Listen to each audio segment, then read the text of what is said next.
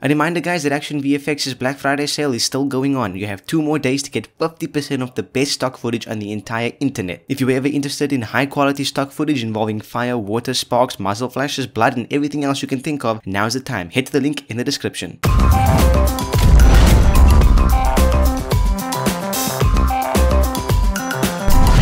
Hey guys and welcome back to a brand new episode of Red's Effects. So today guys, we're going to be revisiting an old topic but redoing it once again. So a while ago you guys requested that I do a VFX pack or rather a preset pack of color grading presets and color correction presets for HitFilm Express. More leaning towards color grading actually. And so I did that and it was quite a good response and the reason I did so was because a lot of the times you see big YouTubers, some of our favorite YouTubers releasing preset packs or color grading preset packs for programs such as Lightroom and Premiere Pro and After Effects that emulate their own looks. Now while I don't have particularly a specific look that I color grade with, I do have certain looks that I like and certain looks that I wanted to play with. And so I did that with pack uh, V1 in which I released to you guys 10 free presets for HitFilm Express and you guys seem to really like it. So this time around I decided to jump back into HitFilm Express and play around with some of my favorite looks from some of my favorite films and try and get it to uh, sort of resemble that. Now these presets loosely base the ones that they are named after. For example I have a uh, Star Wars The Force Awakens preset as well as a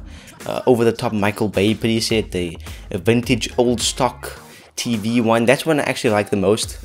well, that one, um, it's almost something you'd see on a TV in the 1960s. So uh, these presets loosely base the films that they or the looks that they are based on because you can't get exactly the same, especially when it comes to emulating film looks. Throughout a film, the color palette tends to adapt and change to its surroundings and its environment.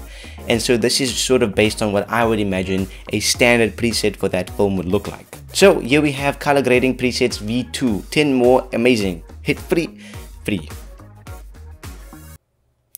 free. HitFilm Express presets, I'm such a weirdo, that you can download right now in the description. When you click the download link, you'll be taken to the Mediafire page.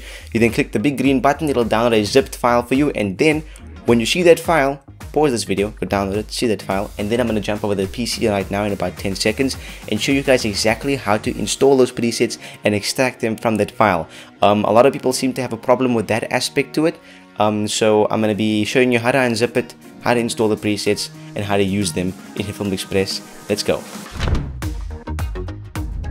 So here I am in my file browser and at this point what I've done is gone to the description, clicked on the Mediafire link, clicked the big green button and downloaded what appears to be a zipped file. Now a lot of you are confused by this but all you have to do is hit to the second link in the description and download WinRAR which is basically an unzipper program. Then install that and your file will basically look like this. All you gotta do then is right click on your file and click extract here. What this will do is extract all of the presets and get it ready for importing. So let's head over to HitFilm and import those presets. Here we are in HitFilm and this step is really really simple. So all you have to do is head over to the effects panel, right click and select import presets, navigate to where you saved the presets that you just extracted in the previous step, select all of them and click OK and boom, your presets are installed.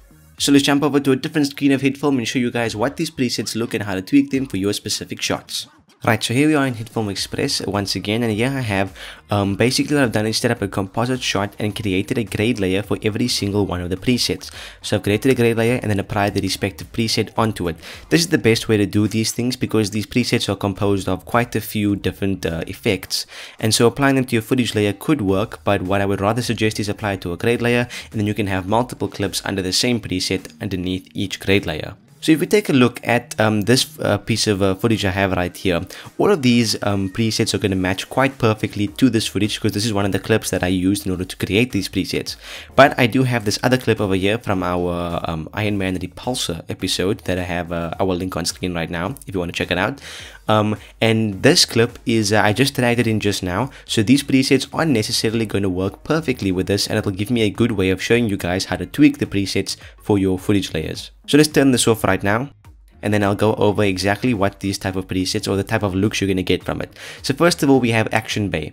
Now this basically gives you a sort of Michael Bay dramatic, oversaturated, greenish action movie type of tint, um, which I thought was really fun. Type of like Transformers, you know, um, uh, what's that movie called? 13 hours and uh, that new movie coming out six underground. Basically a typical michael bay grade stock vintage black and white is sort of like punchy black and white look with a bunch of gray and a vignette. Sort of something you see on a i don't know 1960s tv Classic Western is just that, a classic Western, you know, a nice tint, orange tint, I can't speak, orange tint with like a vignette and a bunch of grain, you know, like a spaghetti Western type of look.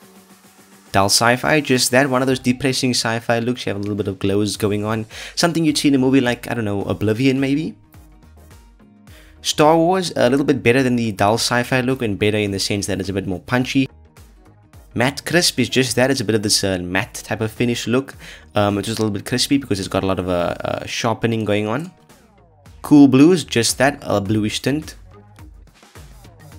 Stylish, stylized desaturate is just that, desaturated, but a bit of punchy in, like the blacks are nice and the, the whites are quite well exposed. Green tint is similar to the cool blues, just have a green tint over it instead.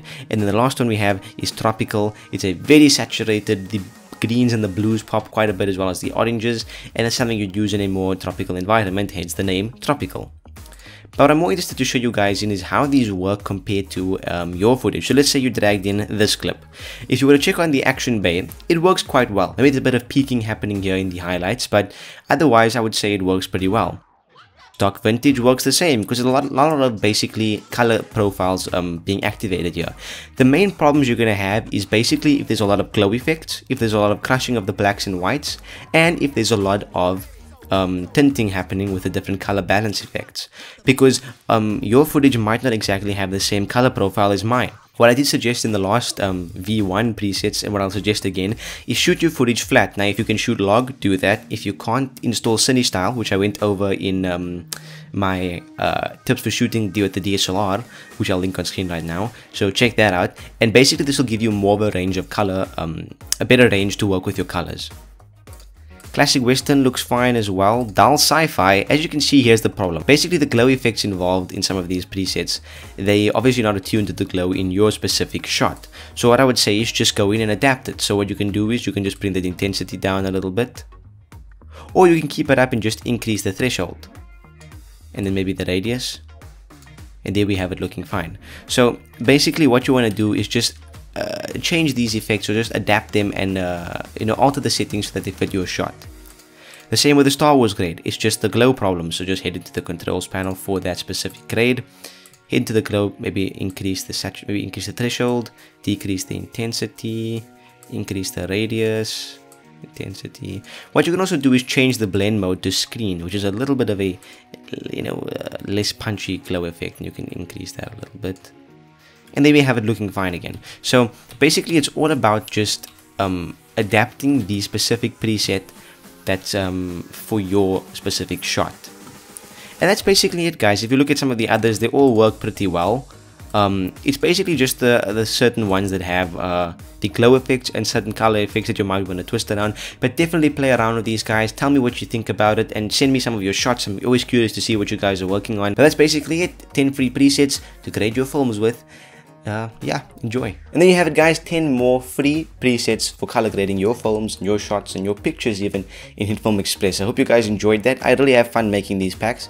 Let me know what you think. Let me know how you think about it compared to V1, which is better, which what you like the most. If you want to send me some of the shots you've been color grading using these presets, uh, some of your films, short films, links on YouTube, email them to me, send me a tweet, uh, send me a comment down below. Anything i'm always curious and always uh, excited to hear about what you guys are working on. And uh, it warms my heart. Warms my heart to see what you guys are working on. Not sponsored by Krispy Kreme. Although uh, Krispy Kreme if you're watching hit me up probably not watching. So I hope you enjoyed this video guys. If you did, please leave a like down below. Let me know what you think. Share it with all of your friends who are filmmakers, who are people who, I don't know, like watching VFX tutorials here and they don't, do VFX themselves. I, I, share with everyone. Share with your cat, your dog, your, your mom. You think these planes are crashing? Can you, can you But no, they're just flying overhead.